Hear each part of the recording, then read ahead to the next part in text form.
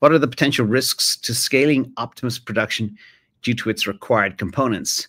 If many materials are sourced from China, how might this affect production costs? Could China's access to these resources and parts give them an advantage in leading the robotics industry? Very good question. And again, uh, Stephen Weston, thank you for coming. I like the way you think. You're thinking about risks, risk management, supply chains, geopolitical turmoil, tariffs. All of this tariff turmoil over the past three months has not only driven everybody bonkers, including myself, it's hurt the markets, but it's made people think about how integrated supply chains are around the world. But there's a couple of things um, about Optimus key features and a couple of things about how Tesla operates. First of all, they source everything locally, everything as much as they possibly can. In the 90% of everything, sometimes a lot even even higher. But the, what makes the Tesla robot different, and uh, there was a half marathon in Beijing, I think, yesterday for robots, which was kind of fascinating to see how they were all, you know, remote controlled and it was just the variation. And there's no doubt China is going in whole hog into robots because they need labor and that's so important. But a couple of things here. In my opinion, the brain is most important.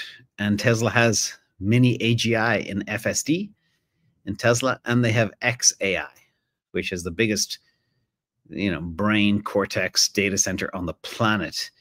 And they've got the most real-time information as well.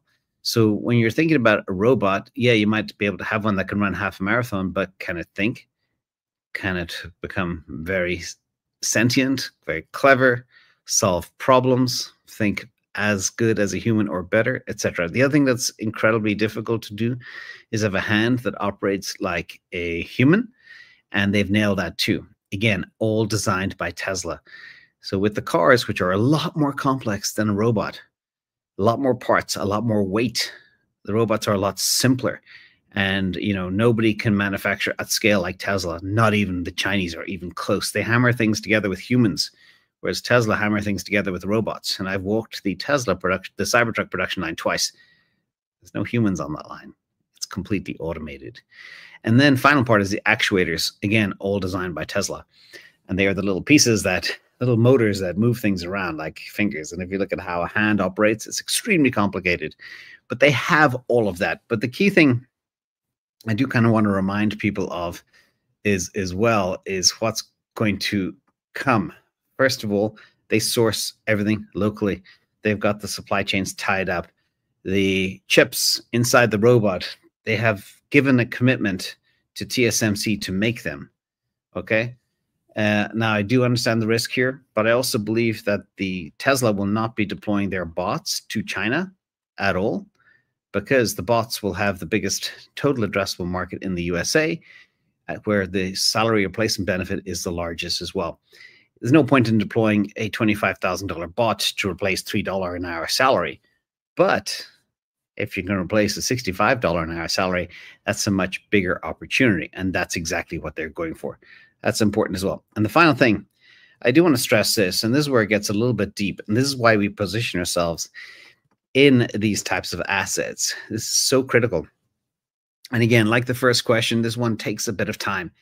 And just not only Stan, Stanley Druckenmiller's rule, eh, please wrap your heads around this Eh, the the Stanley Druckenmiller rule, but also this rule too. Okay, marginal cost of intelligence is going to zero.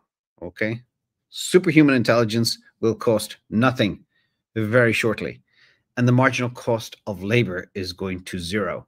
All right, humanity has never, ever, ever faced anything like this before. We've had industrial revolutions, but not nothing like this. And when I talk about marginal cost of intelligence going to zero, that means AI will think for free once trained.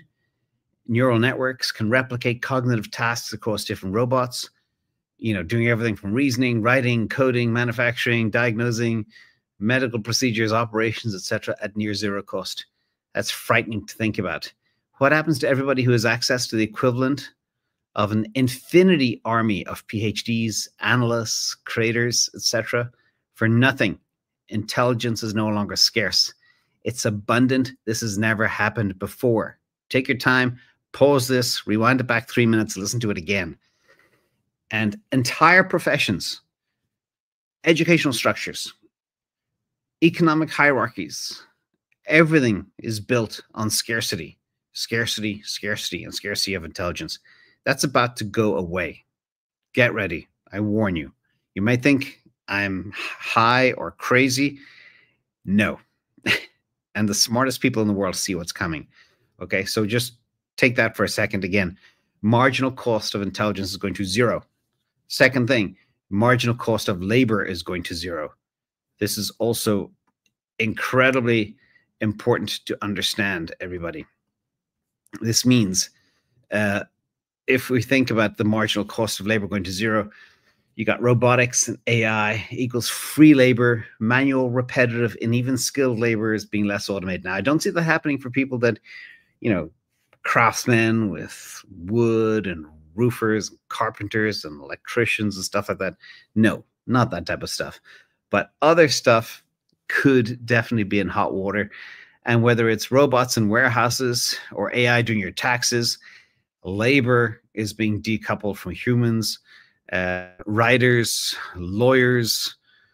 Um, they they are the ones. I'm not worried about nurses and dentists and skilled people with their hands, but you know, I'm really worried about uh, a lot of the others too. So just just just bear that in mind. Implications means abundance, which is good, but who will get that abundance? A lot of people think there's going to be infinite abundance for everybody. Everybody's going to be rich. Everybody's going to be able to be like in that movie I can't remember the name of the movie. There's a, a movie where you got these people, you know, they're kind of overweight. They sit in these floating chairs in a spaceship and they just suck on drinks and eat food all day long. Uh, it was like a cartoon movie, but it was hilarious. I saw a clip of it. Um, the question is, does the abundance mean that for humanity? I'm not sure. I still believe, as always, one thing that will remain the same is wealth will be concentrated amongst the very top percentiles. Okay. Anyway, big change coming, everybody. The statement isn't about finance, it's about the rewriting of civilization. And I do believe that's coming. So watch out. The next five years will be absolutely mind blowing. Absolutely mind blowing.